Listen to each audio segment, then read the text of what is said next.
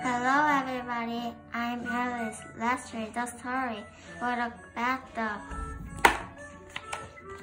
Floppy goes on the concrete.